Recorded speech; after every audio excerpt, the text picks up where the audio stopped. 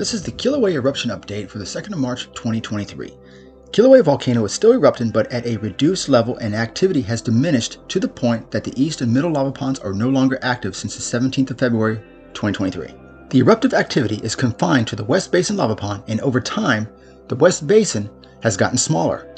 Multiple lava lake resurfacing events took place in the West Basin within the last week. However, the activity is getting less and less as time goes on.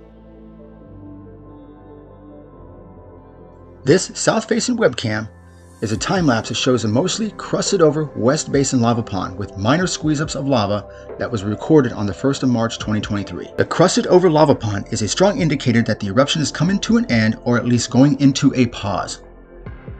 Another indicator that the eruption is closing out is the recent sulfur dioxide emissions of 200 tons per day as measured on the 28th of February. We saw the same pattern when the Kilauea eruption stopped back in December of 2022.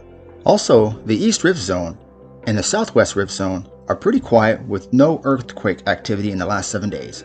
However, these earthquakes that were recorded under the summit and just outside the caldera were recorded at a depth of 6 to 8 kilometers or about 4 to 5 miles.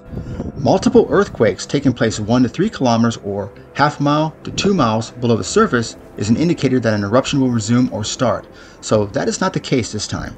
Ever since the large deflation event that took place on the 17th of February 2023, numerous minor daily inflation and deflation events took place over the last week. The general trend, however, appears to be inflation. However, expect a change from alert level, color code orange, which is watch, to yellow, which is advisory. Now, the eruption can change on a moment's notice, even after this update is posted.